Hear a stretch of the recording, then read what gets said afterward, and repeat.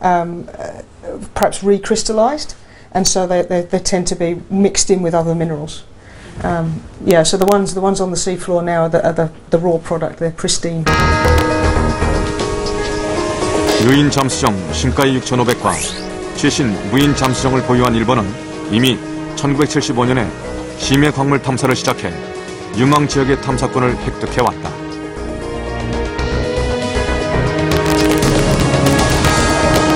해 해저 광물 조사에 쏟는 예산만 무려 68억엔, 약 910억 원을 열수광산 개발에 투입한다. 해저 자원을 채광하는 로봇 개발도 완성 단계에 이르러 심해 자원 전쟁은 더욱 치열해지고 있다.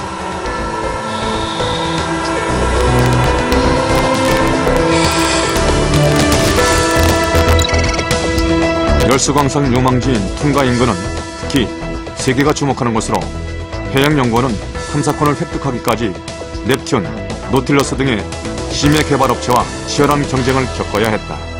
탐사권 확보 경쟁이 지금 굉장히 치열한 상태입니다. 지금 그 해외 민간 기업 같은 경우는 그 쉽게 얘기해서 해저 수강상이 나올 만한 데는 다 자기네들이 그 차지하려고 모든 지역을 다 탐사권을 신청한 상태고요. 물론 그 중에서 탐사권을 받은 지역도 있고 아직 못 받은 지역도 있고 그러한 그, 그 사람들의 움직임을 저희가 2006년도부터 파악을 했어요. 그래가지고 2007년도에 이제 탐사권을 신청을 해서 2008년도에 따게 되는데 그 과정에서 당연히 경쟁이 붙었었죠. 부품 고장으로 탐사가 멈춰선 지 5일 만에 탐사가 재개되었다. 아라운호가 탐사 해역에서도 열수 분출구를 발견할 확률이 높은 지점에 들어선다. 이번 탐사는 열수 분출구에 접근해 육안으로 확인하고 광석과 생물의 시료를 채취하는 것을 목표로 한다.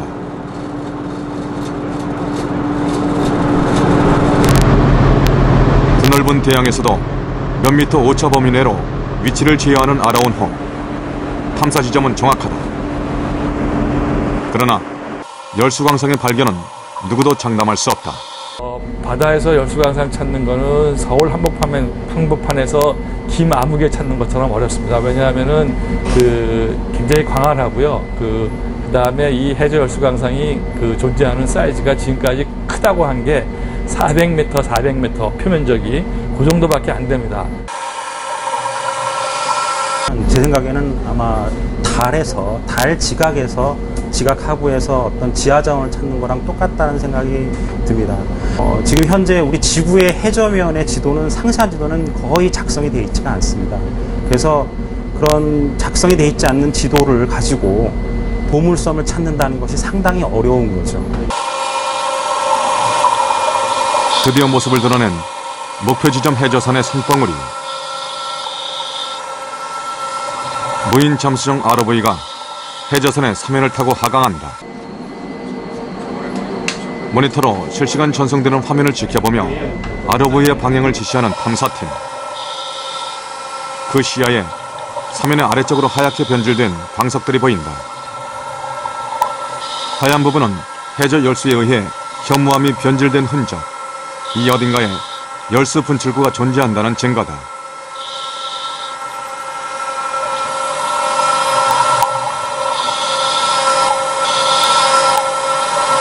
조명을 비추자 빛나는 해저 굴뚝. 마침내 탐사팀은 국내 최초로 열수 분출구를 발견했다.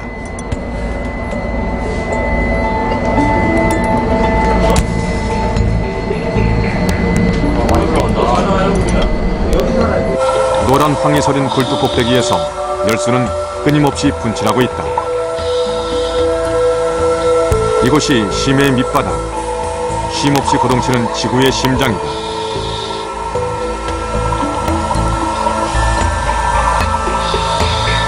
지구 내부의 광물을 담은 고온의 열수는 차가운 해수와 만나 순식간에 굳어지며 굴뚝을 이룬다.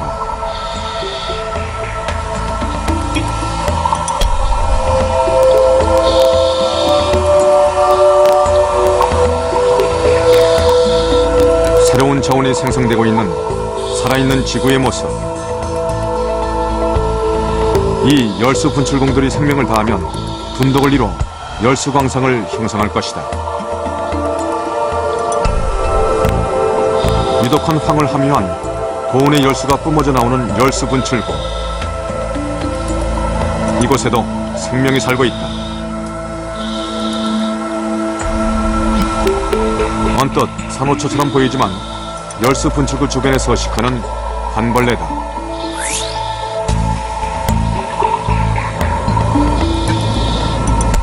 관벌레는 끊임없이 붉은 아가미를 여다듬며 열수를 들이마신다.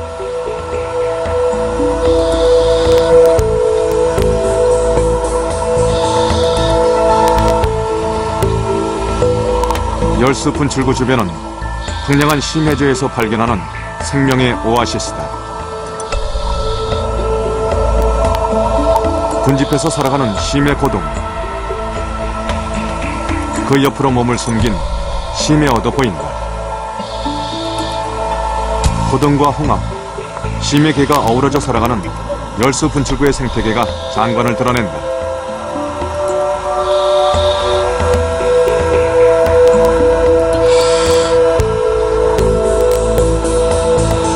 알려진 생명의 서식 한계는 미생물의 경우에도 170도씨.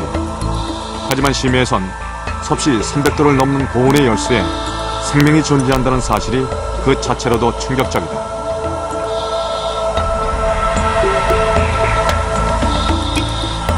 게다가 햇빛이 전혀 들어오지 않는 심해. 별다른 먹이원이 없을 뿐더러 주변엔 유황이 가득할 뿐이다.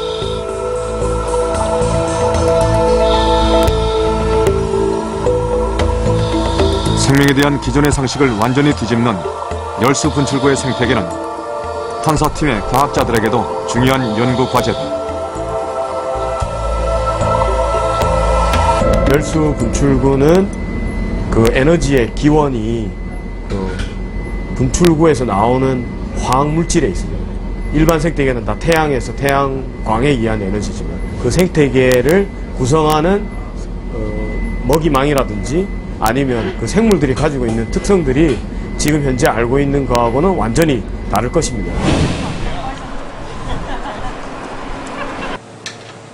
미국 우주홀 연구소의 생물팀 연구실. 열수 주변의 생태계는 해양 생물학자들에게 최근 떠오르는 화두다. This is a, a tube of a tube worm called Riftia, which is the large tube worm that was found at the East Pacific vents. It can grow up to two meters in size, and this organism potentially could be only a year old. They, they grow very, very rapidly. 관벌레는 어디서 양분을 섭취하는 걸까? 해부 실험 결과 학자들은 관벌레엔 잎과 위장주차 없다는 사실을 밝혀냈다.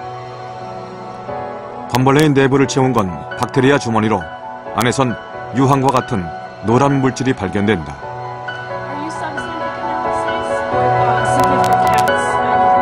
노란 물질의 정체는 황화 박테리아. 열수 분출구에서 나오는 황화수소로 영양물질을 합성해 관벌레에게 제공하는 박테리아다.